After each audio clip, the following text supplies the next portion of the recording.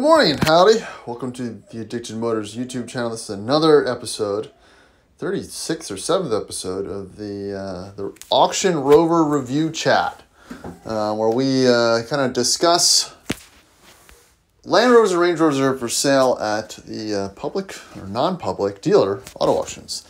And this one I scrolled over a couple times. This is an 05 L322.1, so last year of the BMW 4.4 V8 and uh, most most BMW interior configurations. Uh, it's located in Colorado. It's a 300 truck. It's Tonga green. It's got the grill guard. It's got the roof rack. It's got the side step. It's got the taillight cover. So, you know, Colorado Aspen spec L322. I was kind of hoping it was a one owner, and I was hoping it was in better condition. Um, but it's it's a little rough. But the fact that it was traded in to Land Rover of Denver kind of made me circle back and take another look at it. So let's go along for this ride. Um, it's got some meh tires, and again, I don't know how they're grading the condition on, on some of these cars because they treat everything the same, which is good and bad, but you'll get a very low score for just some minor scratches and little dents and whatnot. So, you know, we'll run through and see what it actually looks like. Just shipping to Richmond, thirteen hundred bucks. Um, the other thing, it, it says it doesn't run, but that's just a little box you check, and most cars don't say that either.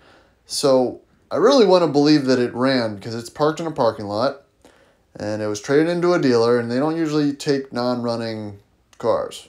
So, uh, you know, the stuff they can sell in their lots these days is getting much slimmer as prices come down and uh, you know dealer inventories are very high right now so you know they don't need old shitty cars in the lot.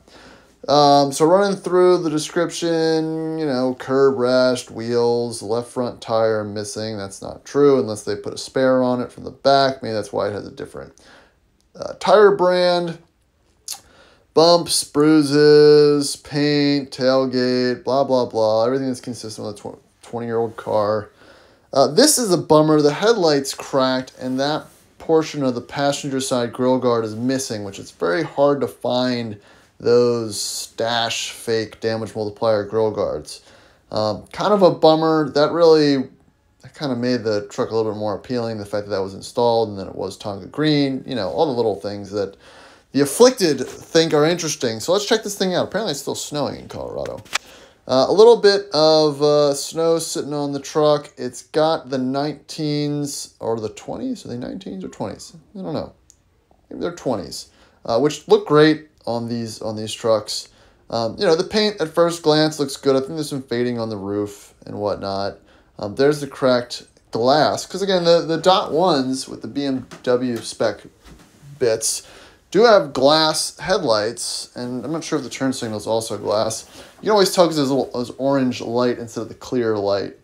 Um, but it's got the tail light guards, it's green, that wiper's suspiciously pointing down. No backup cameras on, on these additions. Um, but caramel leather interior, which looks pretty good. Again, these early L322's interiors, I believe, are, though, you know, Cosmetically, they hold up better. Are they aesthetically as pleasing as the later ones? No. But they definitely hold up um, a little more stout.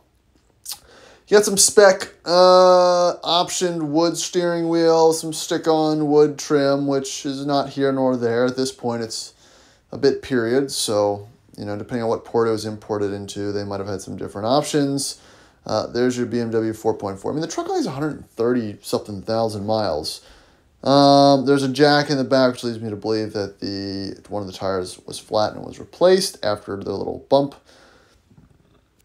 And see what other pictures, you know, little paint scratches. There's a little clear coat fade, but there's also dirty. The roof gets faded. It's a flat surface. You know, Colorado cars do have a lot of paint fade, um, so it's not it's not just Texas and the southeast that experiences this phenomenon. But yeah, little scratches and dents, but you know, it's still a low owner, lower miles, decently specced L322 that would be kind of fun for, you know, thousand bucks, fifteen hundred bucks. If it if it starts, runs, and moves. They might not have the key or anything, so There's really no way to confirm. I guess you could call the dealer and ask for a PPI on the lot, but yeah, I would. If this runs across the lot, I think it's worth the gamble. So that's the conclusion. See you in the next one.